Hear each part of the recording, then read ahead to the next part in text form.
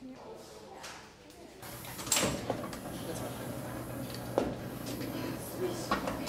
I was gonna say, it's a pretty. This art. I won't get hurt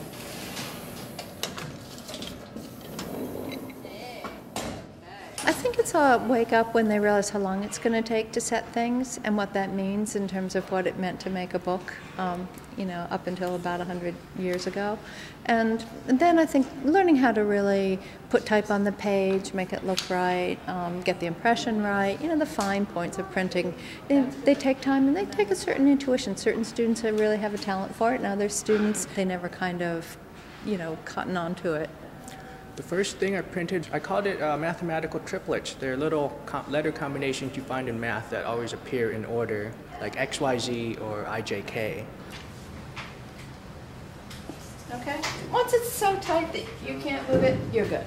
All right? It sensitizes their eyes to, you know, suddenly you realize that these letters that are all around us have histories. The students really love it. So I think, you know, it's a good time for um, slow technology and um, hands on work because it's a nice relief from looking at the screen.